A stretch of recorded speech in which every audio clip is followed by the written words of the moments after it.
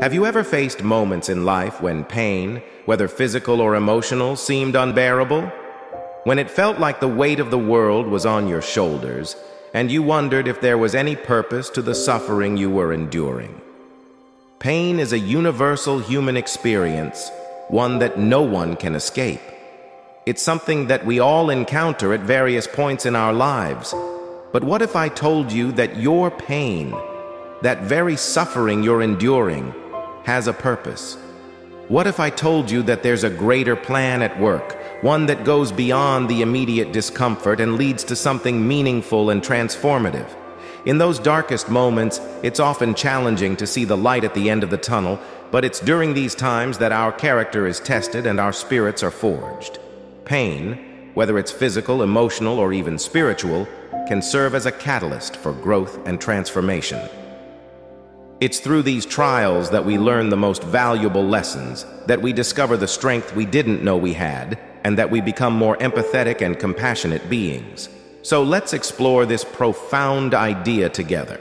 Let's delve into the concept that your pain has a purpose, and that trusting in a greater plan, rather than fixating on the pain itself, can lead to a life of greater meaning and fulfillment.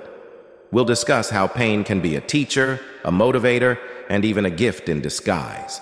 And through it all, remember that you're not alone in your journey. We're all travelers on this winding road of life, facing our own pains and discovering the purposes they hold.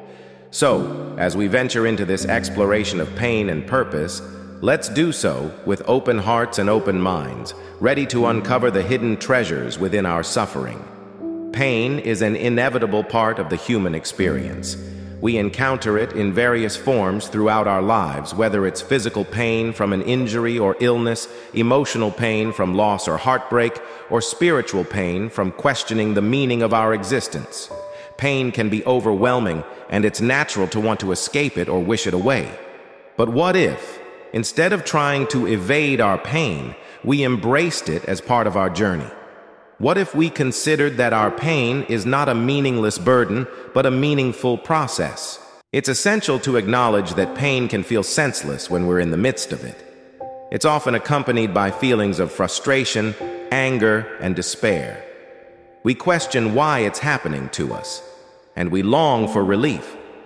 However, these moments of pain can serve as turning points in our lives if we allow them to. They can be the catalysts for significant personal growth, resilience, and self-discovery. Think about the times in your life when you've experienced pain, whether physical or emotional. Perhaps you faced a challenging illness, the loss of a loved one, or the end of a significant relationship. During those moments, you likely felt an immense weight on your shoulders, a burden that seemed unbearable. But as you look back, can you identify the strength and wisdom you gained from those experiences?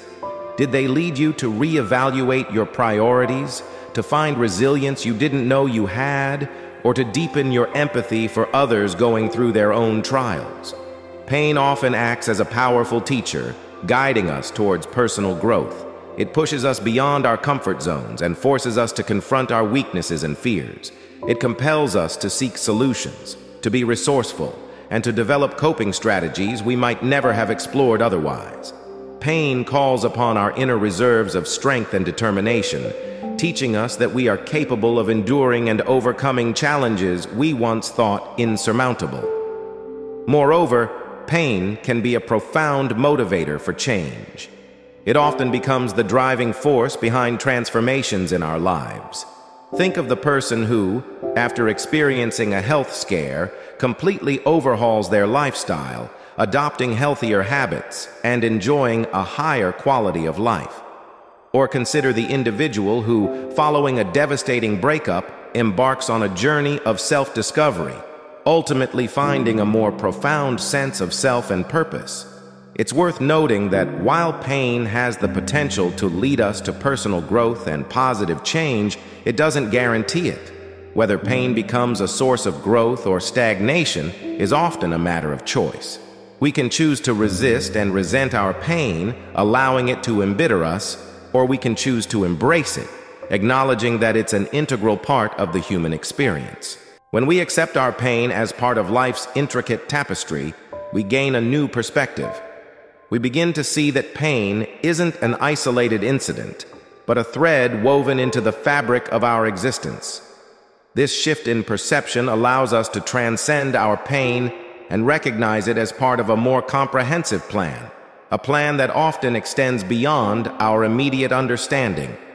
In many belief systems and philosophical traditions, pain and suffering are seen as integral parts of human existence. They are not viewed as random or meaningless, but as opportunities for growth, learning, and ultimately, transcendence. Pain is often seen as the path to wisdom and enlightenment. Even if you don't adhere to a particular religious or philosophical belief, it's essential to acknowledge the wisdom contained in the idea that our pain has a purpose. In the grand tapestry of existence, pain and suffering serve as catalysts for change, as reminders of our shared humanity, and as opportunities for profound spiritual and personal growth. They remind us that we are not invulnerable, that we are capable of immense courage and resilience, and that we can emerge from pain with newfound strength and wisdom.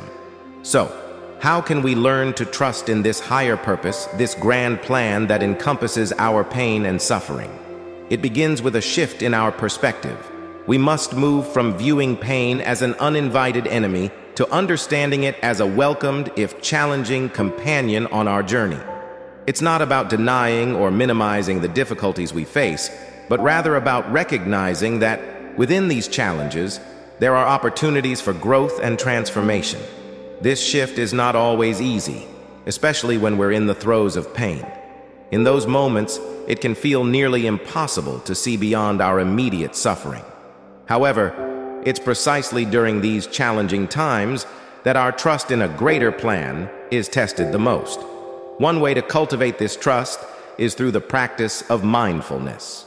Mindfulness encourages us to be present with our pain and to observe it without judgment. It allows us to acknowledge our suffering while recognizing that it's only one part of our complex human experience. Through mindfulness, we can create space for the idea that our pain has a purpose, that it is a stepping stone on our journey rather than a roadblock.